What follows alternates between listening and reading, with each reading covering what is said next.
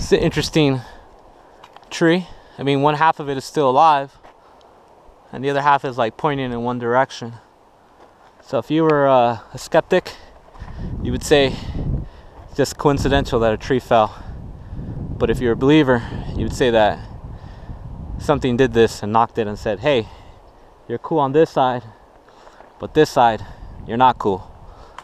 And uh, this is a fire road that leads to a bunch of campgrounds. So that's some interesting shit. I did see it coming in, but I didn't think about that. You know? Shit like this can make you a believer. But it's been here for a while. It's interesting stuff. While on the topic of Sasquatch, Bigfoot, bipedal, whatever you want to call it, um, there's uh, about three animals that went undetected for a century. Um, it's the red-tailed fox, the California grizzly, and a fisher, which is looks like a you know California wolverine. I don't know if I said wolverine. Um, looks like a weasel. And uh, they went a century without being seen, detected, or anything. It wasn't until technology was able to capture these animals. Uh, they put out game trail camps out there and uh, they were able to record them and they captured in the process they were out capturing uh, the fisher and they capture the red-tailed fox.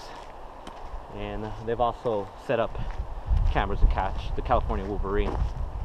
Now sometime also during World War II uh, these uh, Japanese soldiers were on this island in the Philippines and were instructed never to uh, give up but not kill themselves but not give up that island. Well these guys went 29 years in the jungle and I guess people forgot about them the beginning they were trying to get them to get out but they still thought that it was propaganda by the allies so for the exception of the soldiers technology is what was able to capture these animals that hadn't been seen in a century so what I think and my theory is we need technology to advance in order for us to capture a bipedal out here.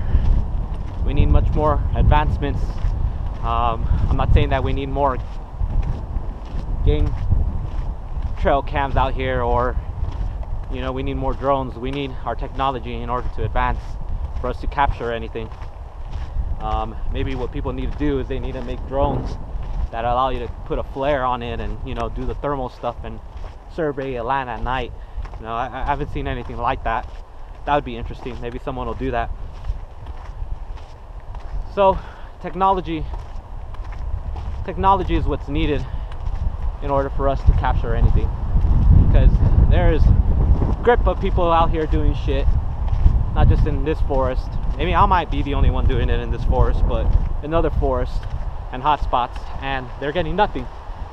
They're putting up game cams and doing drones, and they're not getting shit.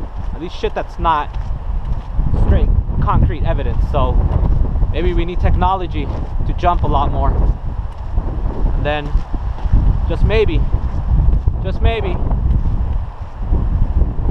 we'll capture something. I'm gonna keep it short today. It's a little windy, so I don't know if you guys could hear me.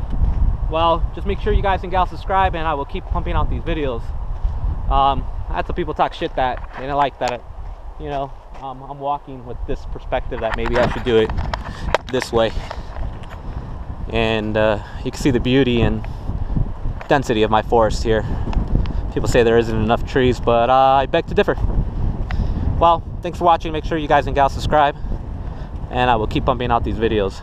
It's interesting. Another one coming down this way. Some food for thought. Well, thanks for watching. I'll keep pumping out these videos.